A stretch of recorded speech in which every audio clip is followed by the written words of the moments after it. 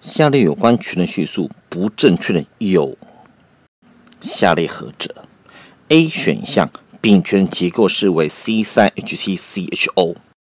首先，我们看到丙醛的骨架结构为 CCCHO，然而碳要满足四根键，不足要以氢来补足，因此为 CH 三 CH two CHO。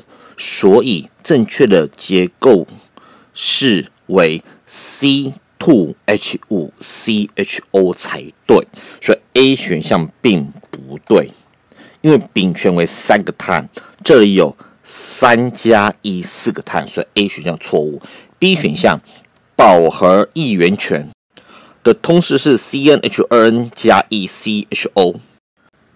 首先，我们先写出 CnH2n 加一 CHO 的分子式通式，因此为 Cn 加一 H2n 加二 O。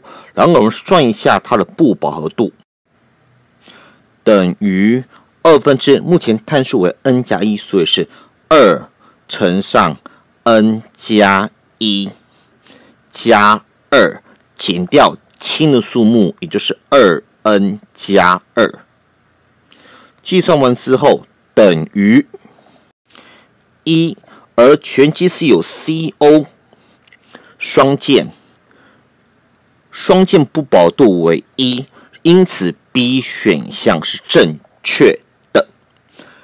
接着 C 选项，全分子中汤基至少跟一个氢连接，也可连接两个氢原子。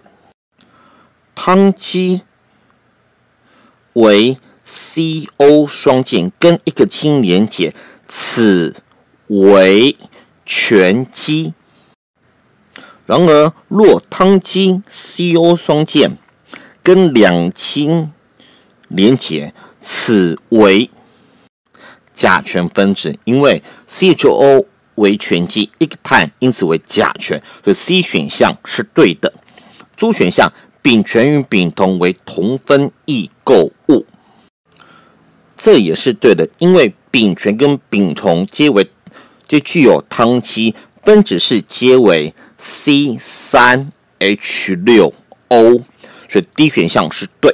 一选项，丙烯醇 CH 二 CHCHO 是乙酸同系物。